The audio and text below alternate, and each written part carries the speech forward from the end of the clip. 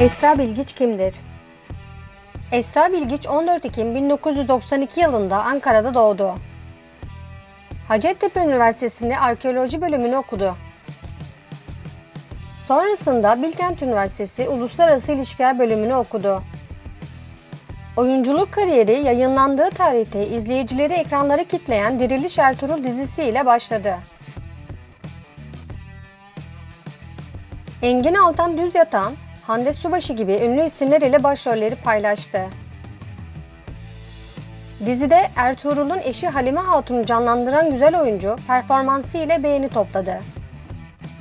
2017 yılında ünlü futbolcu Gökhan Türe ile dünya evine girdi.